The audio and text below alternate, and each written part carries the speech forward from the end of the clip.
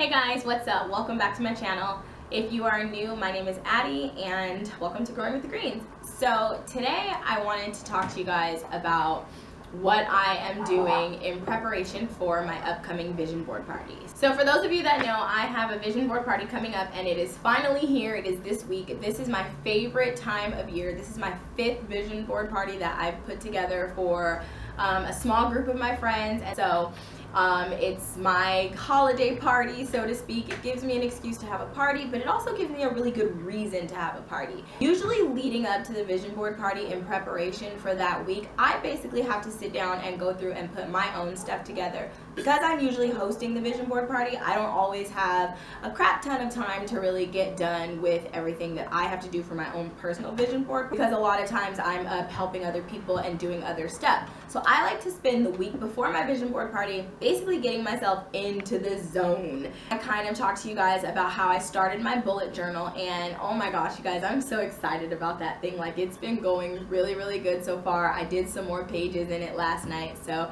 I'm super stoked about that particular part of this process. The next thing that I like to do in preparation is basically go back through and look at some of my old vision boards, see where I've come from, see where I'm headed, and basically start really thinking about what I want for the upcoming year. Alrighty guys, so this is my first vision board that I did um, and as you can see this was done in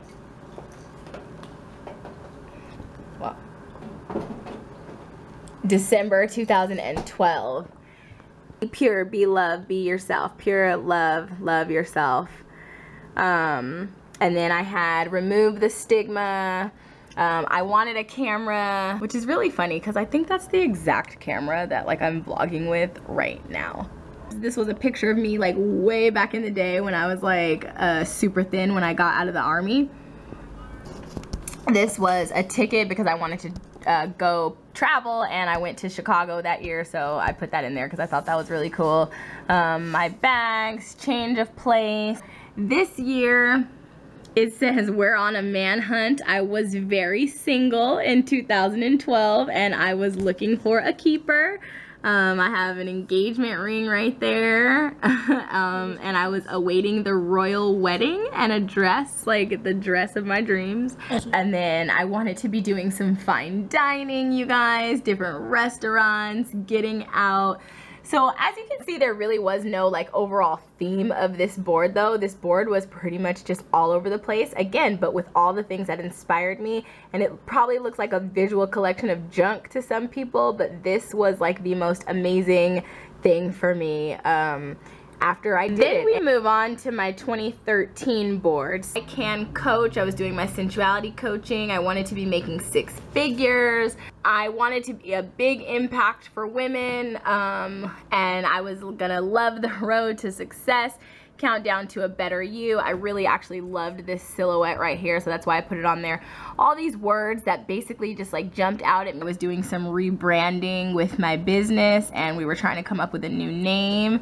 Um, the Oval Office, I had, I wanted to get organized in my office. I actually wanted an office of a bestseller. One of these days I would love to write a book um, hello, my name is, I'm a sensuality coach, a somatic movement coach, owner, author, and speaker. And those are all the things that I wanted for my life. I really loved this picture of this girl basically sitting in a meditation pose. Um, this was just such a beautiful representation of this whole board for me and it's nice to finally see love. I wanted to get engaged yet again. As you can see here, this was still a theme on this board. A man proposes to the love of his life, me married. So as you can see, this board was themed a little bit differently. I've got sort of um, work related stuff took up this side. Sort of my kind of life took up right here my personal and maybe spiritual life. And then in this corner here was kind of related to travel and love.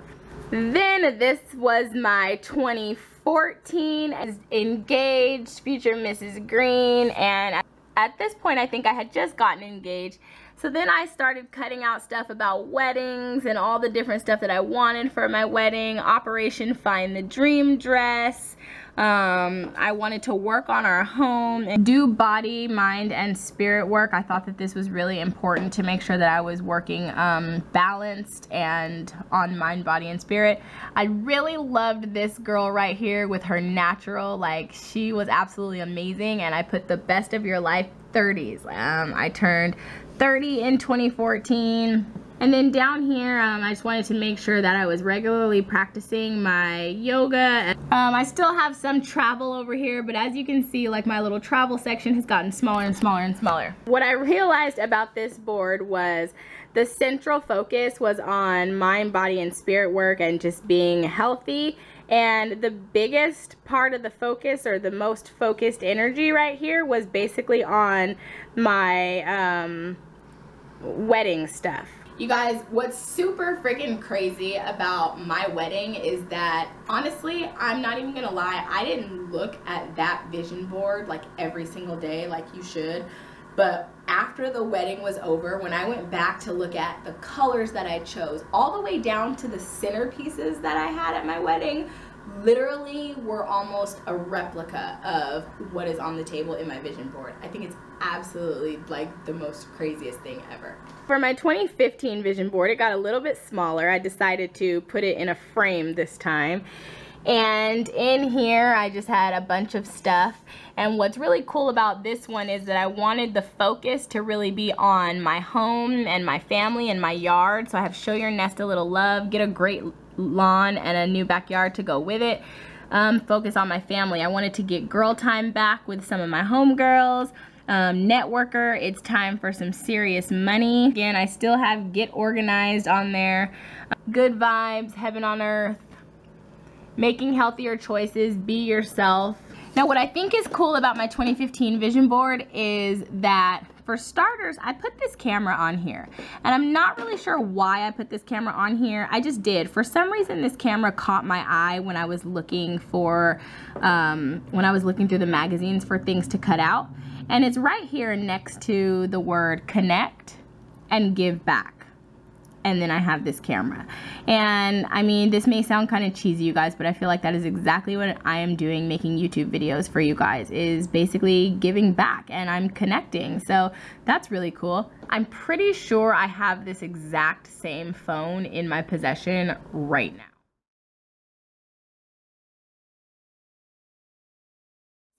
Year I've pretty much done a collage of stuff. I've flipped through the pages of magazines and anything that sort of jumps off the page at me or that grabs my attention or that basically speaks to my soul, you guys. I cut it out and I formulate a way to put it all onto a board and usually when I'm done I'm super excited I have my masterpiece and I put it up somewhere where I can see it every day that is the key to a vision board is being able to see the board every single day. What I have found in five years of hosting vision board parties for not just my friends but for other people is that if you don't put the vision board where you're going to be able to see it, it kind of defeats the purpose of wasting your time and putting together a vision board. This year I basically decided to change things up a little bit and do things just a little bit differently because I've been into decorating my house and fixing things up and home decor and all of that stuff. And the honest truth is I've used these really huge vision boards and I don't end up putting them anywhere. They basically used to be inside of my workspace, but because I've changed so many things in my house this year, I really don't have a space to put something that kind of just doesn't fit in with my decor. And I'm probably starting to think that some of the people that have come to my vision board parties over the years might have the same problem. So the vision board kind of just gets tucked somewhere where you only see it sometimes. And you guys only seeing the vision board sometimes doesn't work. So the biggest thing with a vision board is basically putting it where you can see it so that you can focus.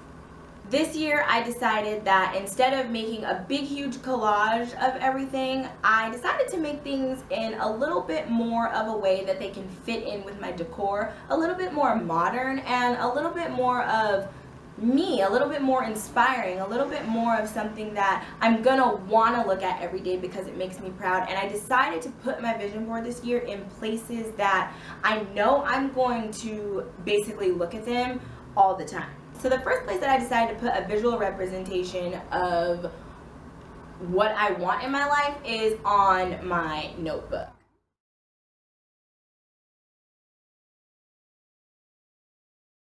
On my notebook right here I just have some things.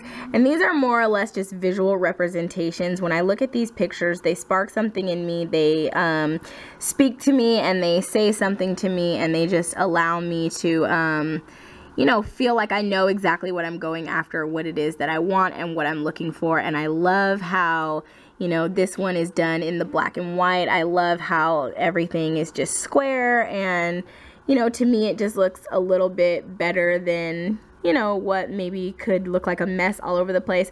But this I have looked at every single day. It's right here in front of me. And it's right on a notebook.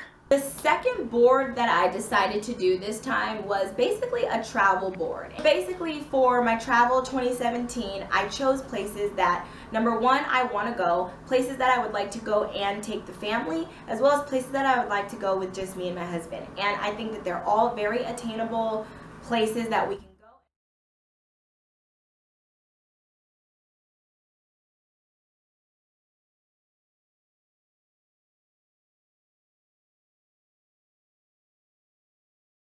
I did was I went to one of my favorite sites, which is We Heart It. And I sort of took the different things that spoke to me. And I also searched for the places that I knew that I wanted to go.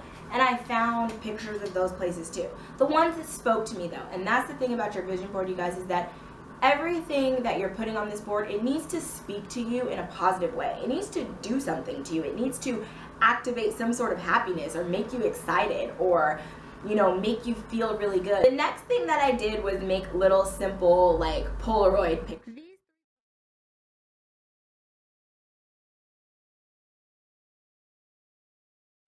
Right now, I basically just have these sitting in the mirror in my room, and that way, when I get up, whenever I sit down at my desk and I look up, I see the things that, um, you know, I want to attract into my life.